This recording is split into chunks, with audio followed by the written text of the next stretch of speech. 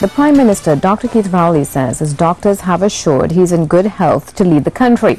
Dr. Rowley used today's post-cabinet news briefing to address speculation that swirled concerning his health amid rumors of a cancer diagnosis.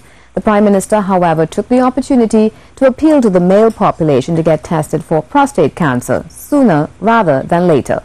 Peter Christopher reports. I am pleased to announce that my doctors have pronounced me in good health. And I have no ailment. I have no symptoms which can prevent me at this point in time from conducting the duties to which I have been assigned in Trinidad and Tobago. This was the Prime Minister's announcement in response to weeks of speculation about his health. The Diego Martin West MP came to the post-cabinet briefing saying his sole intention was to make the announcement that Parliament would reconvene on September 9th. The Prime Minister returned on Tuesday having gone to the US to undergo what he said was a routine checkup. He said he was surprised that rumors of a cancer diagnosis, propelled by a front page article which suggested throat cancer, had dominated public discussion in recent weeks. The Prime Minister shut down those rumors but also expressed disappointment that the Trinidad Express had aided in pushing such information.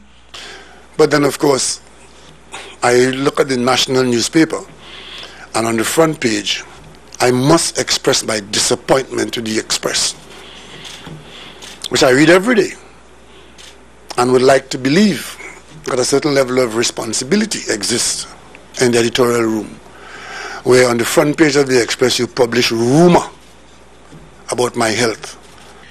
The Prime Minister also used the post-cabinet briefing to make a public plea to men of Trinidad and Tobago to get tested for prostate cancer.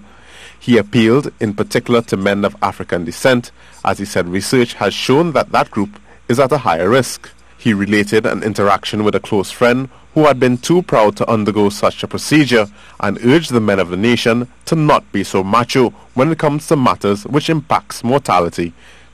These particular diseases um, benefit from early detection. And even at that stage, he said to me, no man ain't digging up my bottom like that. And I couldn't believe it because it was a case of life and death. But he was so macho that he was not prepared to subject himself to the test, the physical test. The Prime Minister also explained his decision to head to California for medical treatment as opposed to seeking care on these shores. He explained that he had been seeking medical treatment in California for over 25 years, long before he became Prime Minister, and thought it best to continue working with doctors who held his medical records. He assured, however, that he had confidence in local health facilities. Peter Christopher, C News.